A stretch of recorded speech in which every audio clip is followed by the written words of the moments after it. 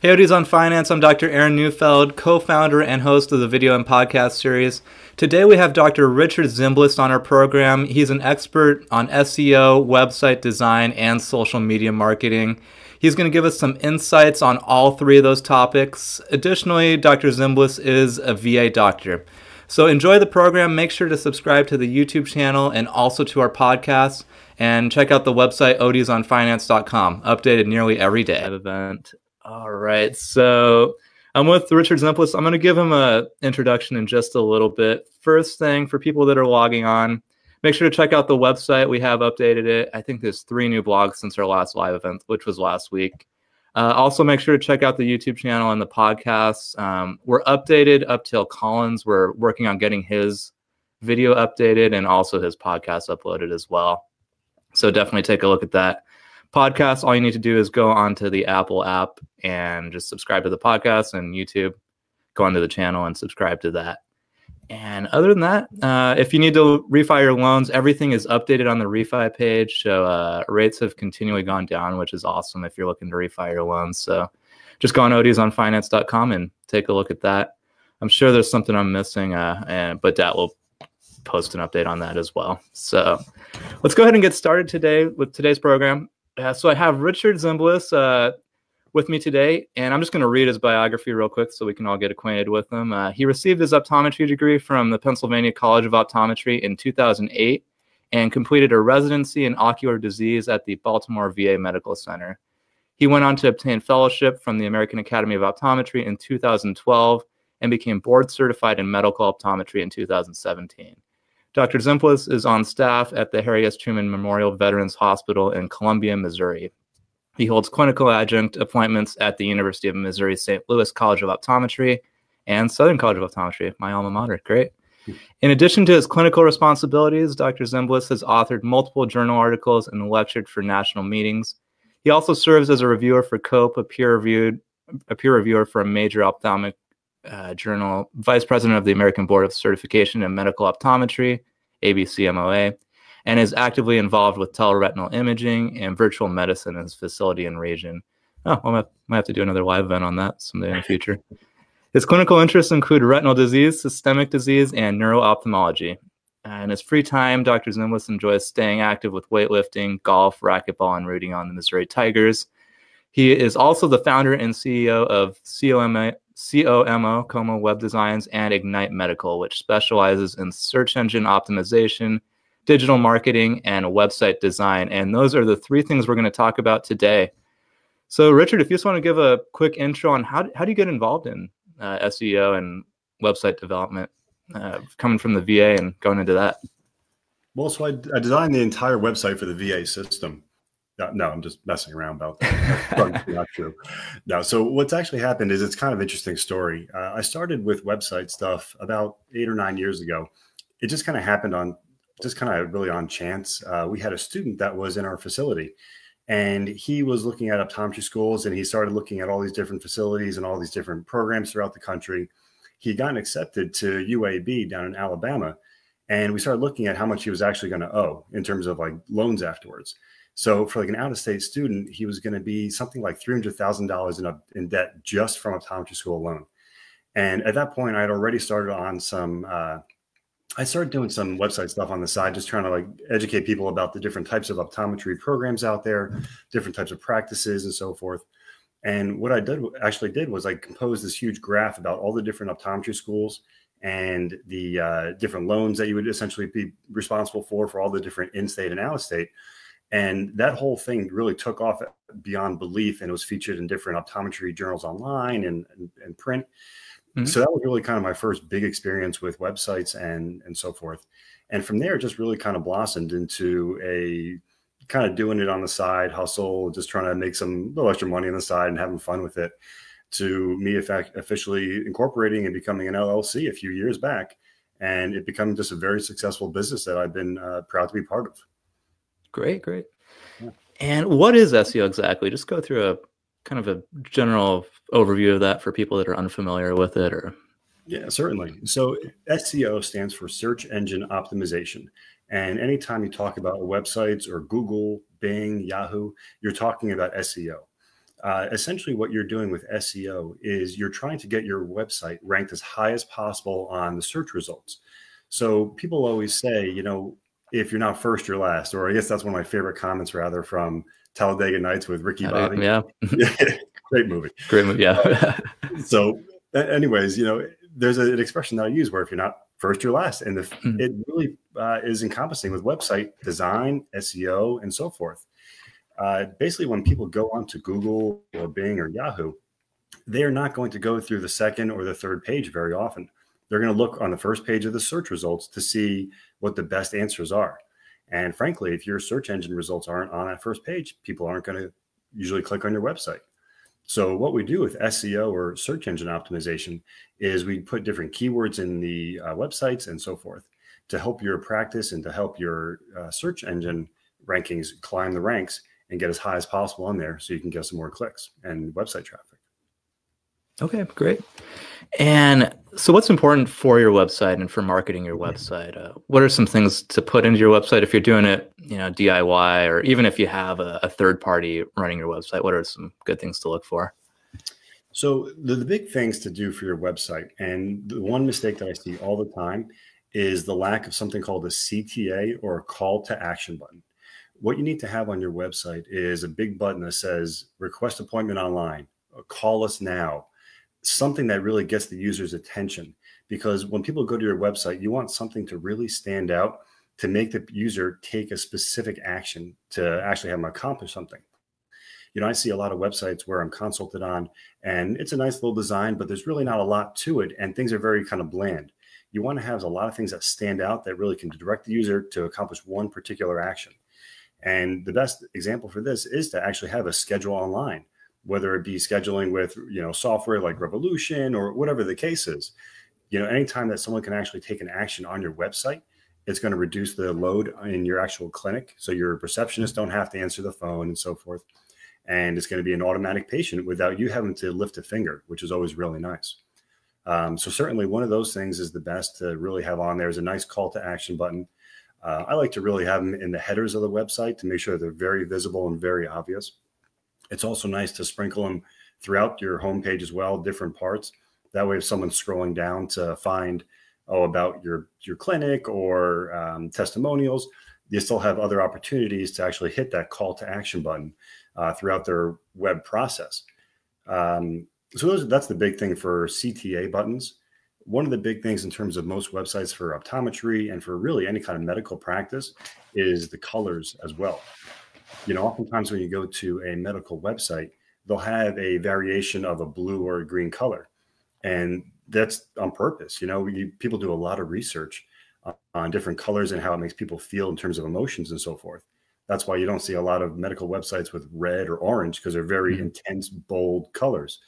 Um, the blues and the greens have a much more calming effect on people. They'll be a lot more trustworthy for your organization. And by no means am I saying, you know, go out and change all your colors tomorrow because you have a purple or, you know, orange, whatever the case right, is. Right. Yeah. But, you know, at the same time, just give that some thought when you're creating your logos for your website and for actually designing your website in itself, too. Yeah, yeah, definitely. And on the front page, I mean, that's where most people are going to land on. Just going off of uh, the same question here, mm-hmm. what are the most important things to put on that front page? Uh, some people think a video is really important. Some people think a picture slideshow is important. Some people think it's you know the CTAs, like just putting those all. What do you think? So obviously, I'm big into CTAs. Mm-hmm. I think the videos look great and they're really nice if they're done well. Um, the big problem about any kind of video, though, is that you're going to typically host it on your server. If you're not, then you're going to, and if you do host it on your server, those videos are going to eat up a lot of real estate and they're eating up a lot of server time. So one thing, and we'll, you know, we can talk about this in a moment as well, but, you know, in terms of getting your website to rank higher and so forth, one of the things that Google always looks at is something called your time to first byte. And if you have a lot of things loading on your website, like a lot of heavy images, a lot of videos, a lot of different fonts and so forth, it's going to take a longer time for your video to load and for your website to load. So your website score is going to actually go down and you may actually suffer some Google search result rankings because of it. Um, so that's just one little, I kind of went off track a little bit, but no, that's, that's, good knowledge. Yeah. I didn't know that. Anyway, so yeah, videos, videos are great if they're done well. Um, just mm-hmm. keep them short. You don't need anything crazy long or very fancy. Um, right. So videos are great. I'm personally a big fan of you know maybe two or three pictures that kind of rotate in a slide carousel. Um, mm-hmm. One one really useful hint when you have those slide carousels and any kind of big pictures is use some sort of image compression software. There's a really good one online called Tiny PNG, where if you have any kind of okay. high resolution picture, you throw it right in there and it'll compress it significantly. So that can help you a lot with your uh, loading time. Okay. Um, but you know, otherwise too, when you have your homepage, you want to have, you know, I think it's this. The research says like there's five or ten seconds where someone's going to actually make up your mind and determine what your website's about. So you want to have your website be very clear and concise from the beginning, what your practice is about, what your missions are, and be very upfront with people. Um, besides that, you know, I like to always have a little about us page on there, uh, just a little introduction to these are the doctors. Mm-hmm. It's always really nice to have a few testimonials.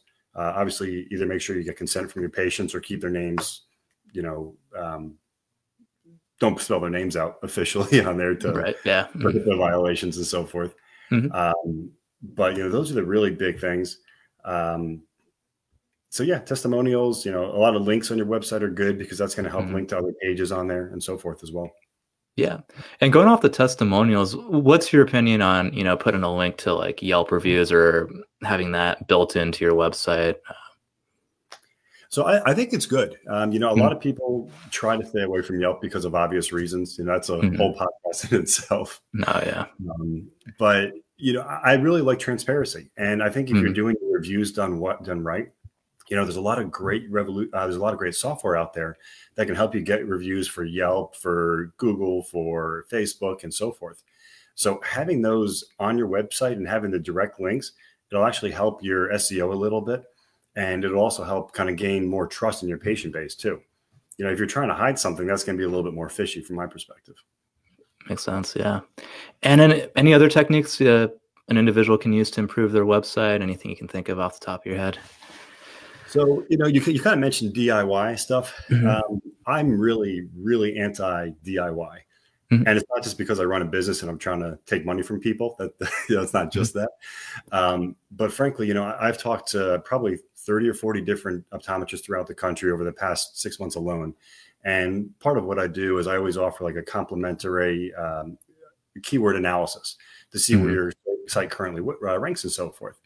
And virtually every single time I get a site that was done in Squarespace or Wix or some sort of do-it-yourself page builder, their rankings are atrocious. Um, you know, typically they'll rank really well for branded keywords.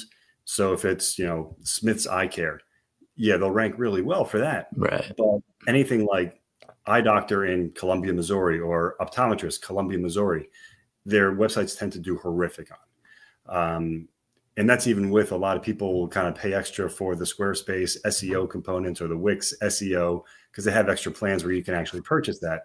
Mm-hmm. Frankly, it's never made any difference from all the stuff that I've seen. Okay. So you know that that's my that's really my kind of um, my soap soapbox thing. Yeah, yeah. I would really stay away from the DIY builders. Okay. Um, there are so the, the, main programs that I use called WordPress, which is one of the biggest ones out there. Mm-hmm. And WordPress has it's kind of a steep steep slope to kind of get started on it. It takes a little bit of learning how to kind of work in the back end, but there are actually a lot of different page builders that you can use inside of WordPress itself, which are much much better for your website. And these are ones that you can easily learn to do on your own as well. So you know, if if I were to make any recommendation, I would say move away from Wix, move away from Squarespace, and get yourself a page builder inside of WordPress and learn how to do it there, where you can put the right what they call meta tags in to ensure that the important keywords that you have on your website are showing up for the search engines. Okay. Yeah. Yeah. We actually work, use WordPress for ODs on finance. And yeah, definitely a learning curve, but a lot of good things you can do and a lot of add-ons you can use that are that make the website look a lot better and a lot more interactive. So Absolutely. yeah, definitely agree with you on that one. And uh, what are some must-haves uh, when it comes to website design? Uh, I know we talked, we just talked about WordPress. Uh, any add-ons or widgets or anything like that? once again, I know DIY not the best thing, but if someone is sure. DIYing it, yeah. Yeah. So when it comes to your website, um, obviously CTA first and foremost. I'm not going to talk about that enough. That's one mm-hmm. big thing that you need to have on your website. Um, the other thing that you can really do is have an FAQ page or an FAQ section for different questions your patient may be asking. You know, it could be something as simple as what are your fees for contact lens exams, or what insurances do you take? Uh, little things like that, where your patients are consistently asking your front desk certain questions. You can include those on your website as well. Um, one of the big things that's really come out in the past three or four years, I can't remember the exact date, is uh, Google has gone to a mobile friendly or mobile first indexing, which is incredibly important for anyone's website. And what they're essentially alluding to with this is that if your website is not mobile responsive and it doesn't look good on an iPad or a, a Samsung tablet or iPhone, Android, whatever the case is, any kind of mobile device, if it's not responsive and look appropriate on there, then you're actually going to suffer significant uh, results in your rankings. So you have to absolutely make sure that your site is mobile friendly. Um, a quick, easy test that you can do is if you just even go onto your search engine and type in mobile friendly test, put your website right in there, and it'll tell you if it's mobile friendly or not. Okay. Um, so that's certainly a big one there. Uh, every website needs to have an SSL, uh, uh, secure socket link. Very, okay. very important. Uh, search engines are actually starting to dock websites that do not have that.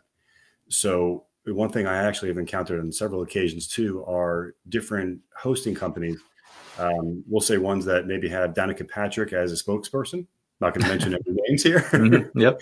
but different ones actually really nickel and dime a lot of their users for different things. Like the mm-hmm. to charge for an SSL might be 15 or 20 bucks a month or something along those lines.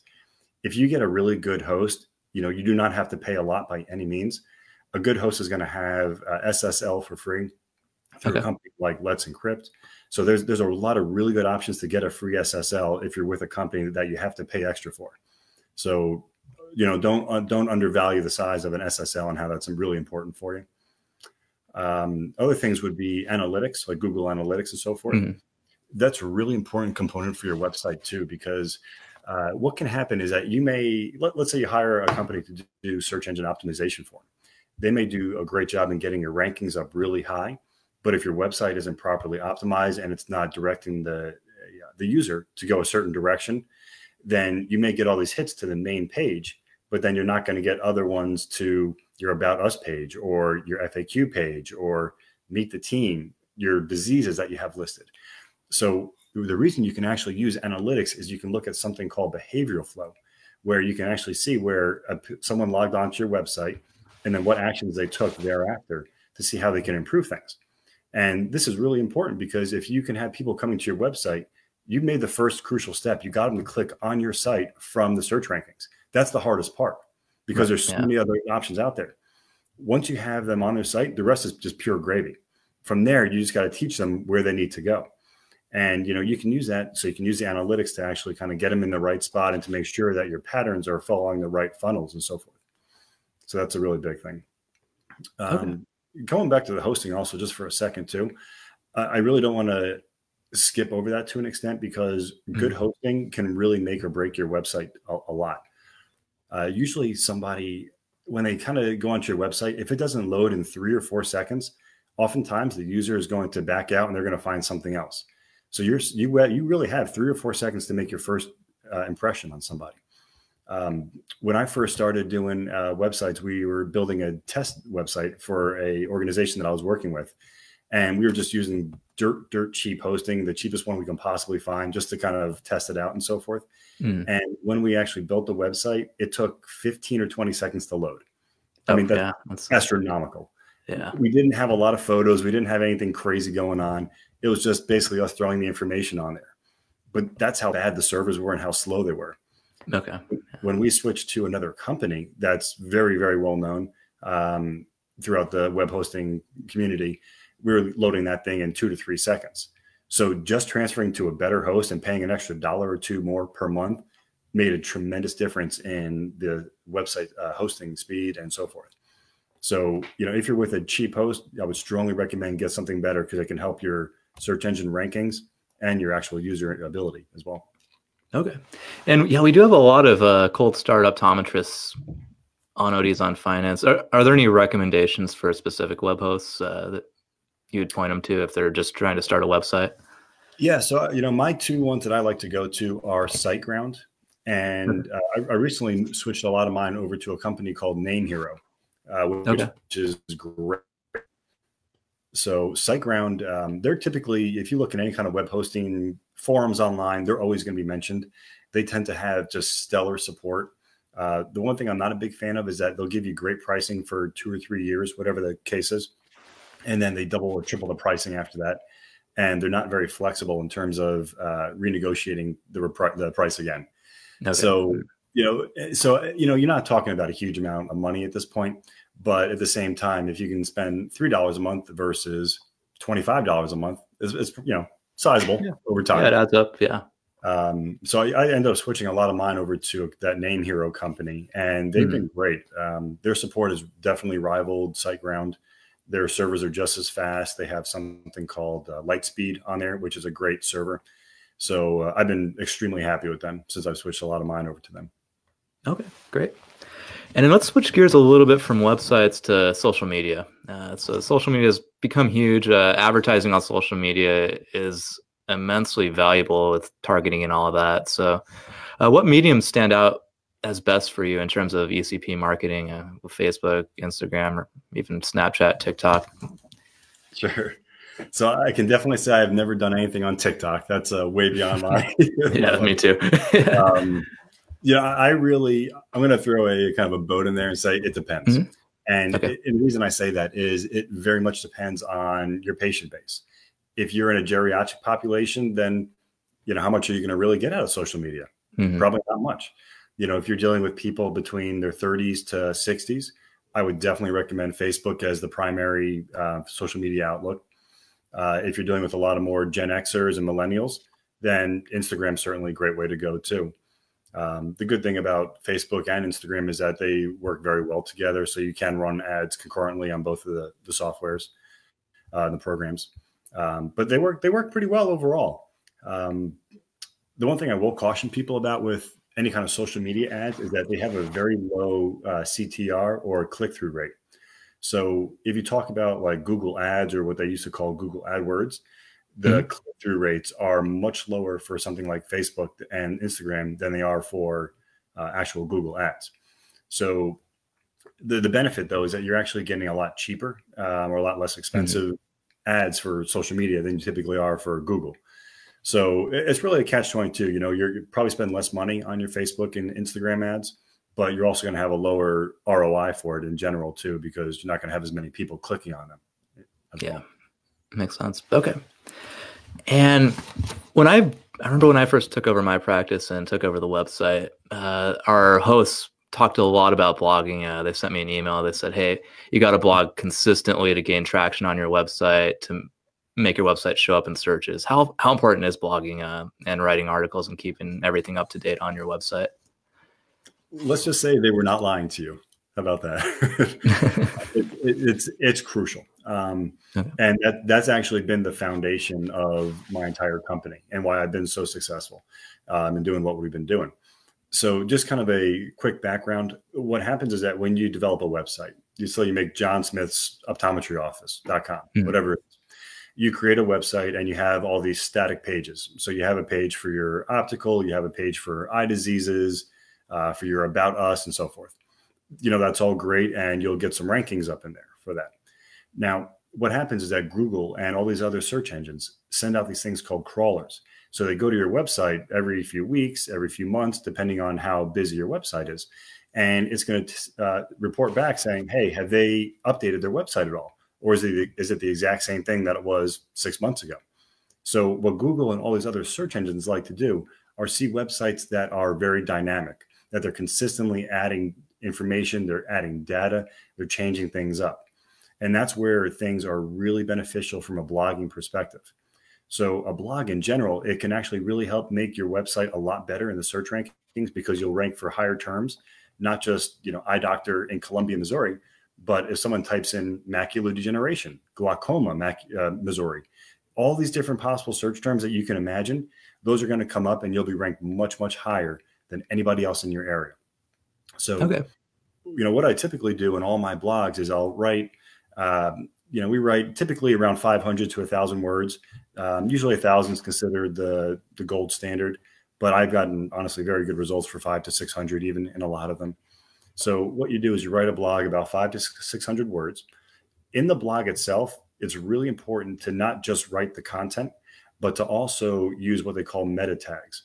And if you're using something like WordPress, what you can do is highlight certain words. Like if you're typing about uh, macular degeneration, you can make a little subtitle, dry AMD versus wet AMD, and then make that a, what they call a heading two or a heading three. This puts something on your website called a meta tag that sends it back to Google and says, hey, this is about macular degeneration. And they've actually organized the website properly to tell you these are the subtitles and this is the information that you need. So, you know, having a blog by itself is great, but also optimizing it properly for SEO is crucial if you're going to do that. Um, okay. And the other thing I kind of do at the end of the blogs too is I write a little little spiel like, you know, Dr. John Smith cares about your family eye care, you know, and then I kind of put again what the topics are in the conversation or in the uh, blog post, and then say, you know, we're located in Columbia, Missouri.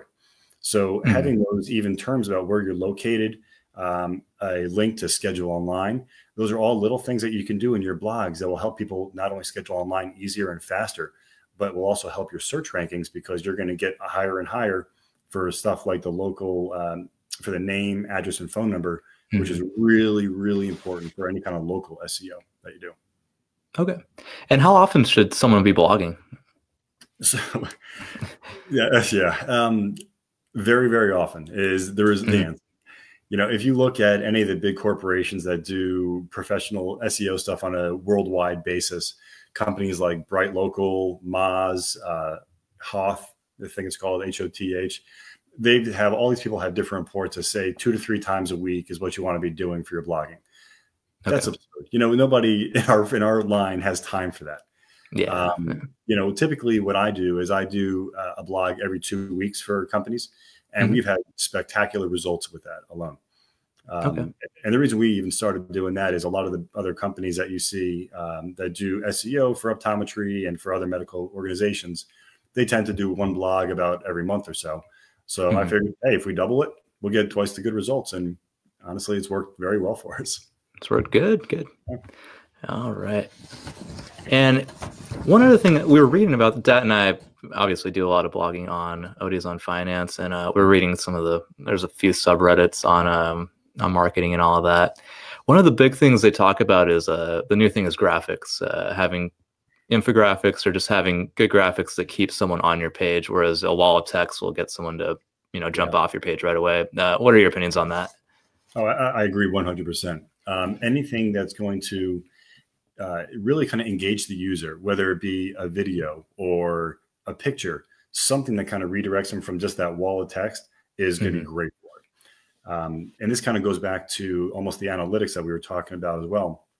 When people go onto a website, um, they will look at the text and they're going to skim it. They're not going to actually read through very carefully because people are just people are lazy by nature. That's what we do. Mm-hmm. Yeah, and that's where it's really helpful to have all these subheadings too, where if you're talking about macular degeneration, you can have one subheading that says dry AMD, one wet AMD. So that way, if someone's coming to your website, they know exactly what they're looking for and they can actually find the location and kind of read that part in more detail. So, but putting photos in your website are great and anything to really kind of keep the person on there.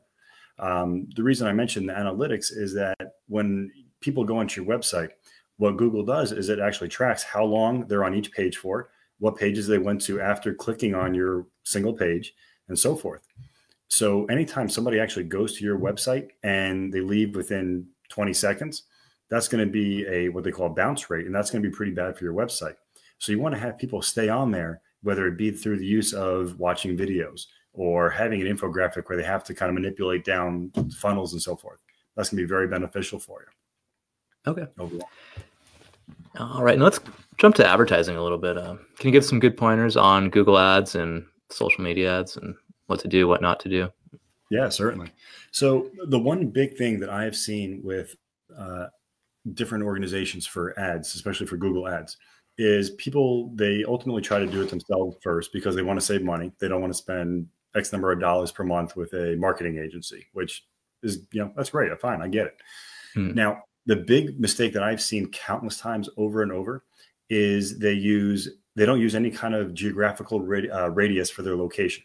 So it might be John Smith's Eye Care in Columbia, Missouri, but and they have this great ad that's all set up.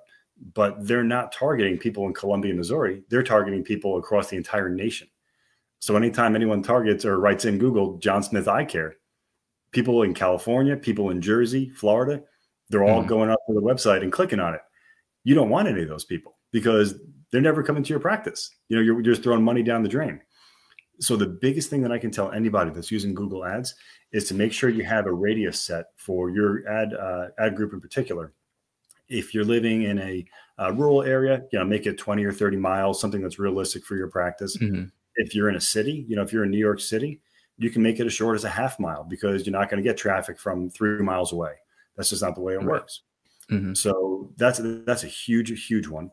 Um, the other thing that people kind of tend to do uh, mistakenly is they use different match phrases. So with Google Ads, there's what they call broad match, phrase match, and exact match. And what people tend to do initially is they use a broad match. So if someone puts in eyeglasses, then they're going to be competing with companies like Zenni Optical, Warby Parker. They're going to be competing with all these other people to try to get ads. And that's not what you want you want to have very specific ads in your, or excuse me, specific um, phrases in your ads. So, mm-hmm. you know, I would always recommend you using either the phrase match as the bare minimum, or the other thing is you can use exact match, where if you want to type in eye doctor near me or eye exam near me, you, you can have those very, very specific criteria in those words. And those are the only ones that you'll come around for. So between having different combinations like that and a shorter radius, you'll have a much higher click through rate on your websites and you'll have higher conversions as well. Um, so the one thing I would tell you too about the phrase match, and I've used this before, I kind of, when I do mine, I do a combination of both to kind of get an idea of what is working for an individual location. But what I'll typically do is start out with a phrase match. And there, when you pull up your Google Ads campaign, it'll show you all the different things that people are typing in for their search queries and they're bringing you to your ads. So let's say you're putting, um, you know, eye doctor, Columbia, Missouri again. Because of the word eye doctor, the phrase match may actually find uh, Walmart eye doctor, America's best eye doctor. It may pull up all these different mm-hmm. things, even though you're a private practice.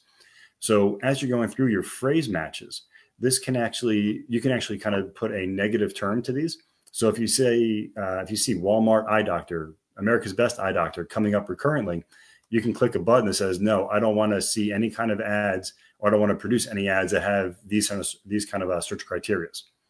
Okay, um, yeah. so that's just one way to kind of limit things so that you're not getting a bunch of junk and a bunch of people clicking on your ads for absolutely no reason, but to be more targeted in your actual ads.